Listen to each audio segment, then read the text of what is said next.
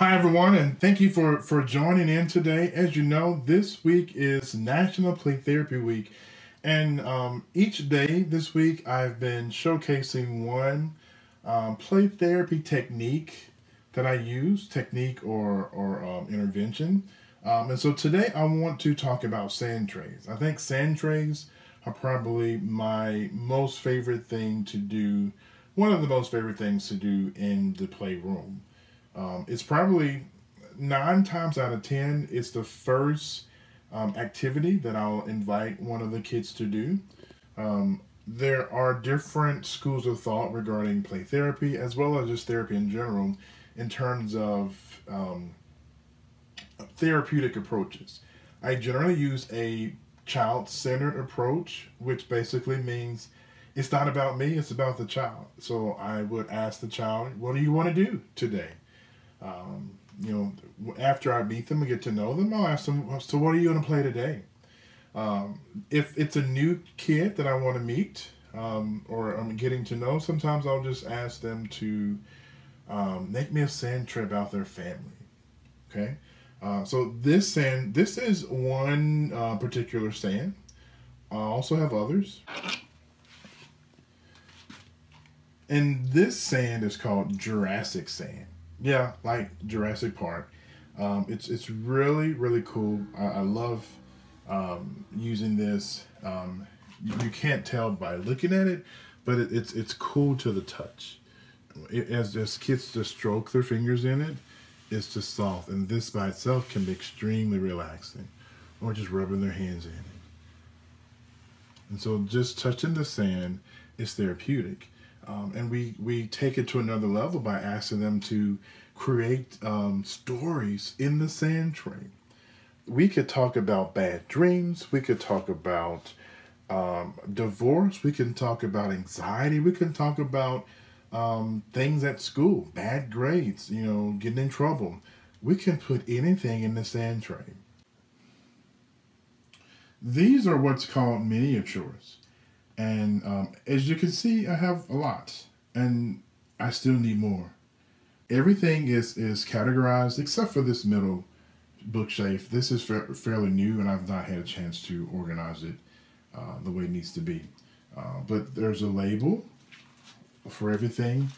Every toy um, is generally placed in um, a section that is similar in theme to um, those toys. So down here we have um, sea animals, as you can see. We have reptiles and snakes and dinosaurs on the next shelf. Um, various characters, Disney characters, you know, just, just random. We have automobiles, trains, planes, and automobiles. Um, we have not quite 101, but we have several Dalmatians. This shelf over here um, is a little darker.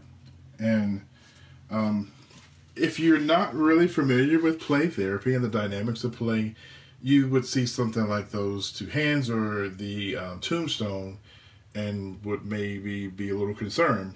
But the reality of it, our kids see lots of different things, and whether it's death, whether a two year old watched Freddy Krueger, or um, just somehow they've had bad dreams and it, their dream just happened to look like those hands. So I give kids an opportunity to express things that they could maybe express verbally.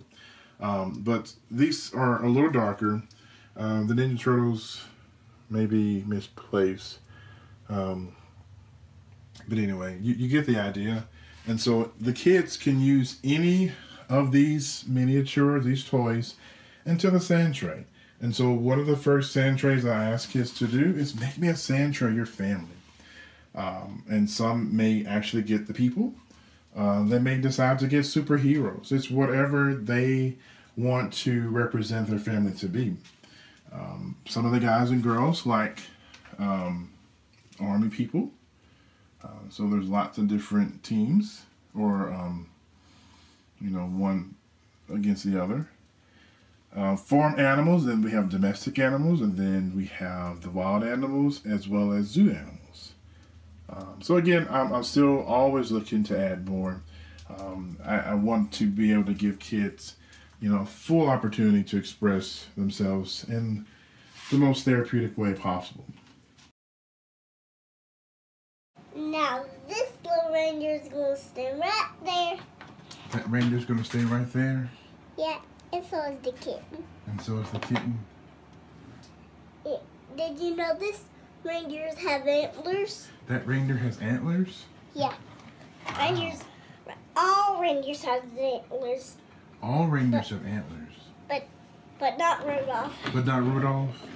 because he's just a regular reindeer.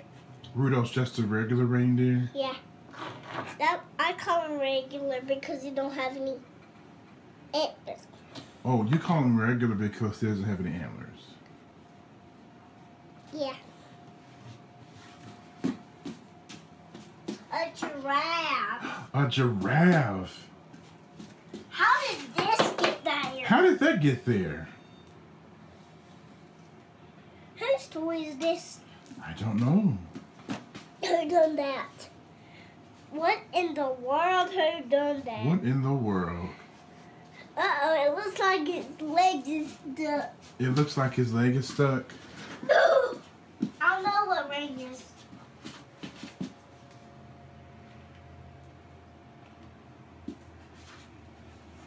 The video you just watched is an example of a play therapy session that I might have with a child. Um, again, I use um, a theoretical approach called child centered or person centered therapy. And the idea is to allow the child to lead. And if you notice, I did not ask any questions to the child in this sample session all I did was reflect back to the child what she was saying. And from that, I gained a whole lot of content. And there are times when I will ask um, directive questions, but um, this particular session was a non directive session um, using a child centered approach. And the the the girl was invited to just make a sand tray and she made it just the way she wanted. These are some examples of some sand trays that have been completed that I think are uh, phenomenal or that are really detailed or that just stand out to me. So take a look at these.